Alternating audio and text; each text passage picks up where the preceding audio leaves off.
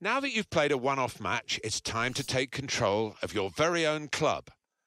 Start improving your squad by playing matches to earn coins. Open